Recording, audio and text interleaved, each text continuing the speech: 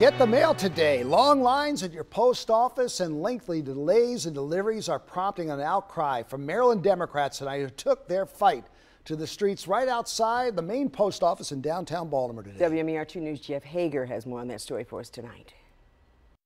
Critics are taking aim at the U.S. Postmaster General for upending the Postal Service during the pandemic. We have witnessed lines of people in Maryland trying to get their undelivered mail. And retired Naval Captain Louise Martin says her drugs for hypertension are 10 days late. This is a dangerous situation. I think of my colleagues who had who have diabetes and are out of insulin, who have heart disease and out of their heart medications.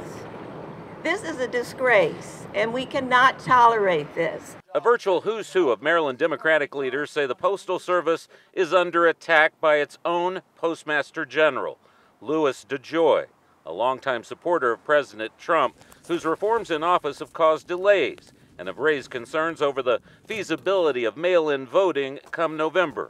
That service is hampered, as you have heard, by the deliberate slowdown by the refusal to give overtime, by hijacking mailboxes off of every corner they can find, and taking sorting machines out of postal offices.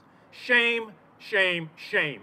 Union leaders are assuring postal workers that they will prevail in what they view as the politicization of the government's most popular service. You didn't let a pandemic stop you. You didn't let COVID 19 stop you. You didn't let a coronavirus stop you. So don't let a postmaster general stop you from doing what you got to do every day. And to that end, workers are vowing to continue providing the service in rain, sleet, or hail, or amidst a hailstorm of controversy in this politically polarized environment. We assured that the mail will get processed even though the machines has been removed, four from the Baltimore plant and two for the IMF incoming mail facility. But we want to assure you that your mail will get delivered, it will be on time, it will be process efficient, and you will get your vote counted. House Speaker Nancy Pelosi is calling the House back to the Capitol, and she's calling on DeJoy to testify before a special committee sometime next week. Reporting in Baltimore, Jeff Hager, WMAR 2 News.